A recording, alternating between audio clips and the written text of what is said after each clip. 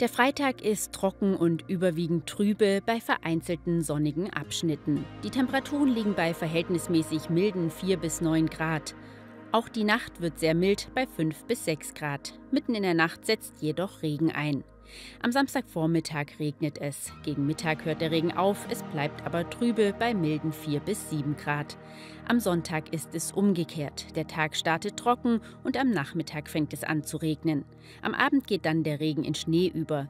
In der Nacht zum Montag schneit es und es wird wieder deutlich kälter. Auch am Montag den ganzen Tag Schneefall, dabei kann sich auch immer wieder Regen in Schnee mischen.